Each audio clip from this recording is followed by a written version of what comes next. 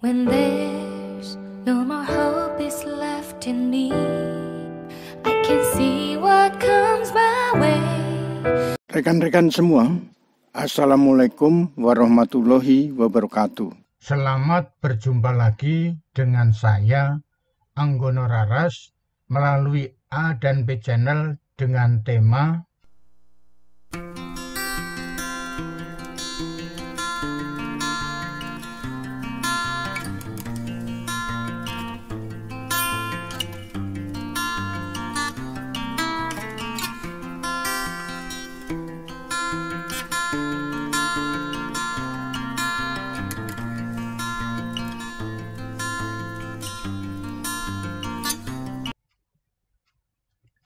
Rekan-rekan semua, kegiatan awal bagi seorang pebisnis adalah melakukan rencana pemasaran.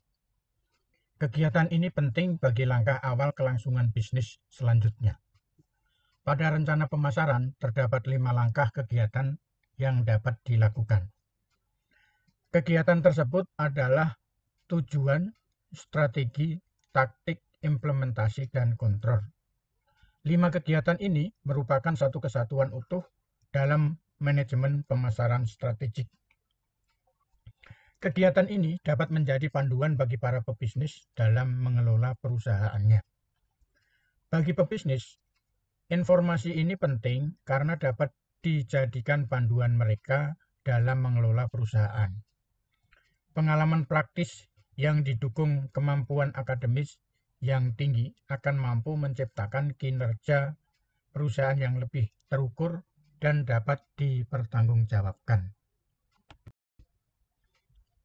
Rekan-rekan semua, untuk menentukan tujuan perusahaan dibutuhkan dua hal yang pokok yang perlu dilakukan, yaitu fokus dan benchmark. Fokus merupakan pola pikir yang terkontrol dengan mengutamakan tujuan perusahaan secara jelas, bahwa perusahaan mempunyai tujuan moneter dan strategis. Tujuan moneter yaitu meningkatkan pendapatan dan kepuasan pelanggan. Sedangkan tujuan strategis adalah memanfaatkan teknologi terbaru untuk menunjang pelayanan dan meningkatkan sumber daya perusahaan. Benchmark merupakan tindakan belanja ide dari perusahaan lain yang lebih, ma lebih maju. Benchmark ini merupakan cara belajar praktis yang dapat dilakukan oleh manajemen dalam rangka orientasi perkembangan informasi bisnis yang berasal dari eksternal. Benchmark perlu dilakukan bagi manajemen untuk memperoleh pembanding kinerja bisnis perusahaan. Rekan-rekan semua, agar tujuan perusahaan dapat tercapai, maka dibutuhkan strategi. Terdapat dua kegiatan yang dilakukan pada strategi ini, yaitu target market, dan proposisi nilai. Target market merupakan kegiatan yang perlu didukung dari perusahaan, kolaborator, pelanggan, kompetitor, dan konteks. Perusahaan merupakan pihak marketer harus tahu kekuatan dan kelemahan perusahaan. Kolaborator merupakan pihak ketiga yang mendukung kebutuhan perusahaan atau disebut supplier. Pelanggan adalah pembeli yang semakin aktif melakukan pembeli produk. Sementara kompetitor adalah pesaing yang menghasilkan perusahaan sejenis. Menghasilkan produk sejenis. Konteks merupakan konsultan yang paham terhadap pelaksanaan peraturan pemerintah. Proposisi nilai adalah semua yang bermanfaat bagi pelanggan. Contoh, proposisi nilai sebuah restoran, yaitu ruangan yang nyaman, pelayan ramah, fasilitas meja kursi bersih dan rapi, pelayanan cepat, ada fasilitas drive-thru, lahan parkir luas, dan lain-lain. Rekan-rekan semua, taktik merupakan penjabaran dari strategi perusahaan agar dapat diimplementasi dalam pelaksanaan di lapangan. Taktik meliputi hal-hal berikut: produk, jasa, merek, insentif, harga, komunikasi, dan distribusi. Produk merupakan hasil produksi perusahaan, bentuknya dapat berupa barang atau jasa, atau gabungan antara barang dan jasa. Contoh, restoran produknya adalah menu makanan yang didukung pelayanan. Jasa merupakan pelayanan yang diciptakan untuk mendukung pelanggan dalam menikmati produk. Contoh, pelanggan belanja online membeli suatu barang untuk kenyamanan pembayaran diberikan kemudahan memilih bank untuk transaksi. Merek adalah nama dari suatu produk, seperti halnya manusia mempunyai nama, rumah mempunyai alamat, Hal ini dimaksudkan untuk membedakan produk perusahaan dengan produk lainnya. Contoh, ayam geprek Bu Broto, mie Yamin, Nyonya Kenny. Nah, rekan-rekan semua, taktik lainnya adalah pemberian insentif, yaitu penghargaan dari perusahaan kepada pelanggan karena setia dalam konsumsi produk perusahaan dalam waktu tertentu. Insentif ini dapat berupa diskon, bonus, ataupun pemberian uh, fitur belanja.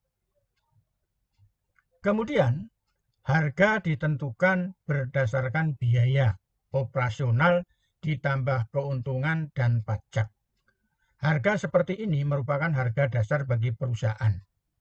Jadi masalah harga juga ditentukan oleh lingkungan dan situasi. Contoh, harga minuman soft drink kaleng di kaki lima lebih murah lima kali lipat dibanding harga minuman yang sama di restoran hotel bintang 5. Komunikasi perlu dibangun dengan jalan memberikan saluran komunikasi berupa nomor WA yang dapat diakses oleh pelanggan atau customer. Sementara itu, distribusi merupakan usaha perusahaan agar produk dapat sampai kepada pelanggan yang membelinya dengan cepat, aman, dan barang tidak rusak. Saat ini banyak pilihan perusahaan jasa pengantar barang yang dilakukan secara online. Rekan-rekan semua, implementasi merupakan proses pelaksanaan di lapangan dalam rangka mewujudkan tujuan perusahaan. Dengan menggunakan strategi, taktik yang telah dipilih. Implementasi dilaksanakan dengan cara menyusun struktur organisasi yang cocok, proses bisnis, dan membuat jadwal kerja. Struktur organisasi yang cocok untuk marketing adalah struktur organisasi matrik yang disesuaikan dengan produk yang dihasilkan. Bentuk struktur organisasi matrik akan dibahas tersendiri. Proses bisnis merupakan kegiatan mengolah bahan mentah menjadi barang jadi. Rencana pemasaran termasuk suatu proses bisnis. Jadwal merupakan penyusunan kegiatan terkait dengan waktu. Jadwal kegiatan yang lengkap dapat mencerminkan waktu, kemajuan pekerjaan, anggaran yang diserap, dan sumber daya yang digunakan. Jadwal kegiatan ini dalam suatu proyek dapat dibuat statistik dalam bentuk diagram S. Rekan-rekan semua, kontrol merupakan suatu proses yang lazim dalam suatu sistem manajemen. Pada kegiatan rencana pemasaran, kontrol yang dilakukan pada kinerja perusahaan dan lingkungan. Kinerja perusahaan dapat dilihat dari dua sisi, yaitu sisi moneter dan sisi strategis. Sisi moneter terkait dengan peningkatan pendapatan dan kepuasan pelanggan.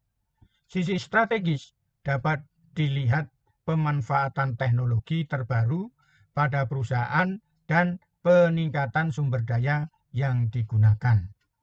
Lingkungan termasuk lingkungan internal dan lingkungan eksternal. Lingkungan internal terkait kepuasan karyawan terhadap kebijakan perusahaan, dampaknya pada kesejahteraan karyawan. Lingkungan eksternal terkait dengan lingkungan di luar perusahaan, termasuk di dalamnya perusahaan di sekitar perusahaan tersebut berada, masyarakat di sekitar perusahaan, dan makhluk hidup lainnya.